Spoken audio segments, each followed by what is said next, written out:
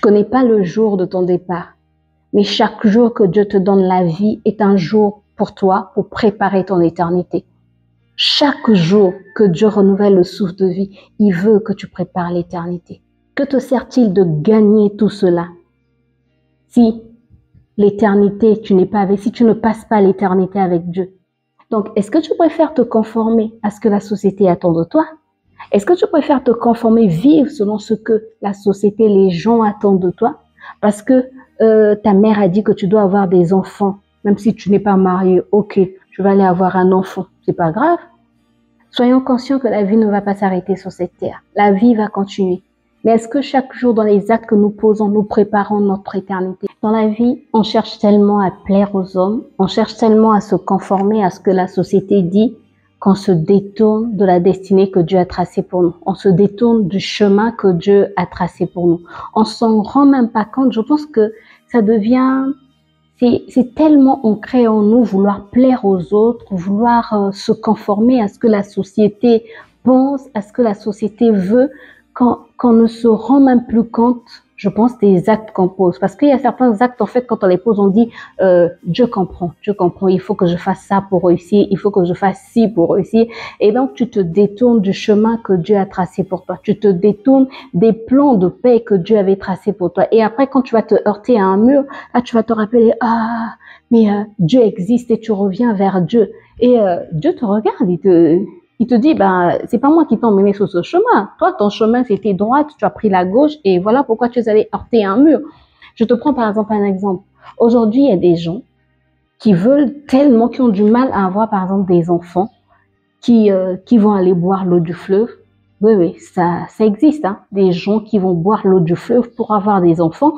Des gens qui vont aller voir des féticheurs parce que apparemment la réponse de Dieu vient lentement. Donc, euh, elle tarde trop que tu peux aller voir un féticheur. Je me rappelle, moi, euh, mes premières années de mariage, il y a une maman de l'église qui m'a un jour appelée chez elle et elle me dit, mais tu sais, moi, je connais quelqu'un qui fait des choses, qui peut t'aider, tout et tout. En tout cas, il fait ça dans son village et il sera à Brazza. Donc, euh, si tu veux, euh, on t'emmène là-bas. Et moi, j'ai toujours eu peur des gens les tisanes, je prends les tisanes bien sûr. Les tisanes, les infusions, j'en prends. Vous voyez, je vous montre des infusions que je prends tout et tout. Mais j'ai souvent eu peur des gens qui disent non, tu sais, moi c'est juste des tisanes. Il prend par exemple une plante, il fait après il te donne. pourquoi tu fais, pourquoi tu craches dessus, par exemple? Ou encore, tu fais des incantations, genre, je je sais pas, que les ancêtres, ce sont les ancêtres qui m'ont appris ces recettes. Les ancêtres, vous êtes partis, mais vous êtes toujours avec moi. Que vos esprits viennent sur cette plante. Il y a des choses comme ça, quand tu regardes, tu te dis, hum, non, non, non, je vais pas me compromettre parce que je vais avoir un enfant et je vais aller me compromettre, me mettre dans des situations compliquées. Donc, par exemple, pour avoir des enfants, il y a des gens qui vont aller voir des féticheurs, il y a des gens qui vont aller à la mer, qui vont boire l'eau du fleuve. Moi, je connais des gens qui ont bu l'eau du fleuve pour avoir des enfants. Pour, par exemple, euh, avoir une meilleure vie en Europe, il y a des gens qui vont réduire leur âge, il y a des gens, il y a tellement de choses que les gens font pour, euh, pour avoir une meilleure vie, pour sembler avoir une meilleure vie parce que quand tu regardes très bien, quand tu regardes de près, ben, la vie qu'ils ont n'est pas si meilleure que ça. La vie qu'ils recherchent n'est pas si meilleure que ça. Il y aura toujours un vide, il y aura toujours un manque, il y aura toujours quelque chose en fait. Donc, est-ce que pour les biens de ce monde, pour le, plaisir de ce monde, pour me conformer à la société d'aujourd'hui, est-ce que je dois me compromettre, je dois compromettre ma destinée, je dois changer de chemin, je dois plus suivre le chemin de Dieu? That is the question. Il faut se poser les bonnes questions. Parce que la société aujourd'hui veut quoi? Euh, La société aujourd'hui plutôt dit quoi? Que pour réussir, il faut avoir des enfants. Pour être quelqu'un d'accompli, il faut que tu aies un travail. Pour une femme, même si tu n'as pas de travail, pour une femme que tu sois mariée, que tu aies des enfants. Si tu es marié, que tu n'as pas d'enfants, c'est pas normal. Même si tu n'es pas marié, il faut avoir des enfants. Voilà, c'est ça la société d'aujourd'hui. La société d'aujourd'hui pousse même les femmes à avoir des enfants hors mariage parce que il faut quand même avoir des enfants. C'est comme si quand tu auras des enfants, ça sera le bonheur suprême. Ou encore, euh, Bref, tu n'es pas encore marié à 30 ans, ok, va seulement sortir avec un homme marié, c'est pas grave, sois seulement deuxième femme. Il n'y a pas assez d'hommes euh, dans ce monde, tu vois, il y a plus de femmes que d'hommes, donc tu peux être deuxième, troisième, quatrième femme de quelqu'un, c'est pas grave. Bref, aujourd'hui, on est en train de compromettre notre destinée à cause de ce que le monde offre, à cause de ce que la société nous offre. La Bible dit que sert-il à un homme de gagner le monde entier s'il perd son âme Que te sert-il d'avoir sur la terre un mariage, des enfants, des voitures, des biens matériels, tout ce que tu veux, de voyager comme tu veux, d'aller à New York, à Dubaï, partout où tu veux, si tu perds ton âme?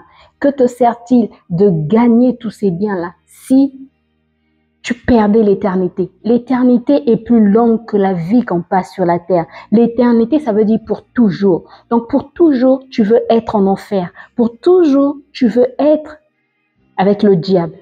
Tu préfères ici-bas te conformer à ce que les gens attendent de toi, te conformer à ce que la société attend de toi, te pervertir, parce qu'il faut que tu aies, que tu roules carrosse, il faut que tu aies des biens, parce qu'il faut que les gens sachent que tu as beaucoup d'argent. Parce qu'il faut que les gens sachent que toi, tu voyages en première classe, s'il te plaît.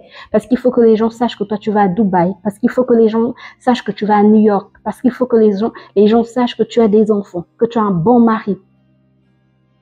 Que te sert-il de gagner tout cela si l'éternité, tu n'es pas avec, si tu ne passes pas l'éternité avec Dieu? Parce que notre éternité, on le prépare maintenant. Notre éternité, on le prépare sur la terre. L'éternité ne va pas se préparer quand tu vas mourir.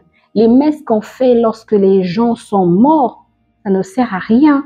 Non, non, non. C'est maintenant que tu as envie que tu dois préparer ton éternité. C'est maintenant que tu as envie que tu dois préparer la vie que tu vas passer, la vie après la mort. Parce qu'il y a une vie après. Ah oui, les gens pensent toujours que la vie s'arrête sur la terre. La vie ne va pas s'arrêter sur la terre. Même si tu vis 120 ans, L'éternité est plus longue que 120 ans.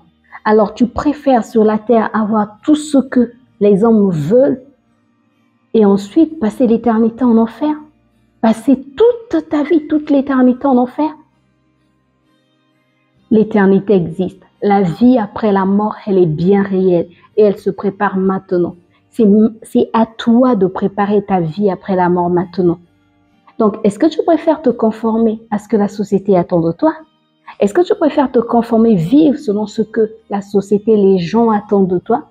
Parce que euh, ta mère a dit que tu dois avoir des enfants, même si tu n'es pas marié. Ok, je vais aller avoir un enfant, c'est pas grave.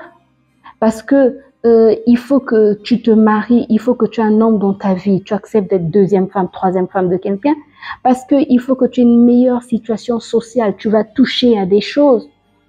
Les jeunes garçons aujourd'hui qui vont toucher à des trucs mystiques, uniquement pour avoir de l'argent. Je suivais, je suivais une histoire sur les réseaux. On parlait d'un homme qui avait une école privée et son école ne fonctionnait pas comme il le voulait. Et après, il a demandé conseil à quelqu'un qui l'emmenait quelque part. Bref, et après, il a commencé à avoir euh, beaucoup, beaucoup d'élèves dans son école, donc beaucoup d'argent. Et un jour, sa femme, euh, sa femme va dire, notre enfant va venir, va commencer l'école euh, dans notre école, donc dans ton école. Et lui, il dit non, n'emmène pas l'enfant à l'école parce qu'en fait, il sacrifiait les élèves de Trouy. Donc, il sacrifiait les enfants de Trouy. Voilà pourquoi c'est important de prier pour nos enfants. Quand on les envoie à l'école, faut pas juste les envoyer comme ça, il faut prier pour eux. Bref, lui, il a refusé, il a refusé, mais la femme a insisté. La femme ne comprenait pas pourquoi il refusait alors que c'était lui le propriétaire de l'école. Pourquoi il ne voulait pas que son, que son enfant soit dans cette école? Bref, l'enfant est arrivé dans cette école. Et malheureusement, le prochain qui devait être sacrifié, c'était son, son enfant. Et après, son enfant est décédé. Pour la richesse, pour la richesse, les gains de ce monde, pour l'argent, il a sacrifié son enfant. Il est obligé. Il est obligé, c'est son enfant qu'on avait demandé. Et son enfant est parti. Donc, il faut faire attention. Aujourd'hui, les gens sont capables de tout pour avoir de l'argent. Il y a des gens qui se prostituent. Vous vous rappelez, je pense, euh, je pense que vous n'êtes pas passé à côté de cette histoire de Dubaï. Je sais pas comment on appelait ça. Bref, les influenceuses qui allaient à Dubaï et qui se prostituaient à Dubaï.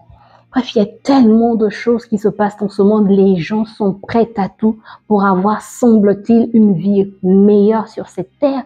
Mais est-ce que ça, c'est avoir une vie meilleure? Est-ce que mener une telle vie, c'est avoir une vie meilleure? C'est en fait avoir une vie meilleure en apparence seulement. C'est juste en fait pour impressionner les gens. C'est juste en fait pour montrer aux gens, ou je sais même pas pour prouver quoi, pour montrer qu'on a réussi, mais c'est pas de la réussite. Est-ce que réussir sa vie, c'est ça? Est-ce que réussir sa vie, c'est se, c'est se compromettre? Est-ce que réussir sa vie, c'est changer d'identité? Est-ce que réussir sa vie, c'est mener une telle vie? Soyons conscients que la vie ne va pas s'arrêter sur cette terre. La vie va continuer. Mais est-ce que chaque jour dans les actes que nous posons, nous préparons notre éternité? Est-ce que chaque jour dans les actes que nous posons, nous préparons la vie après la mort? C'est important. Ne le négligeons pas, ne soyons pas si inconscients que ça. Dieu nous a donné une conscience. Dieu nous parle tantôt d'une manière, tantôt d'une autre. Mais nous n'y prenons pas garde. Tu connais pas le jour de ton départ. Mais chaque jour que Dieu te donne la vie est un jour pour toi, pour préparer ton éternité. Chaque jour que Dieu renouvelle le souffle de vie, il veut que tu prépares l'éternité. Il veut que tu prépares l'éternité. Et comment prépares-tu l'éternité? C'est la question que je te pose.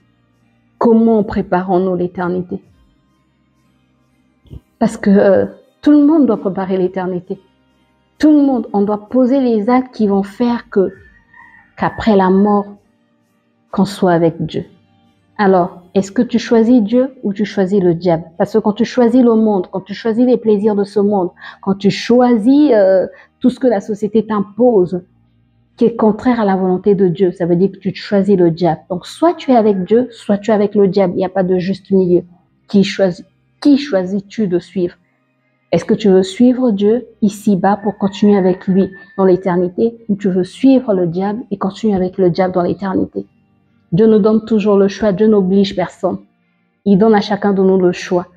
C'est à toi de choisir. Il ne t'oblige pas. À toi de voir qui tu veux suivre et avec qui tu veux être dans l'éternité.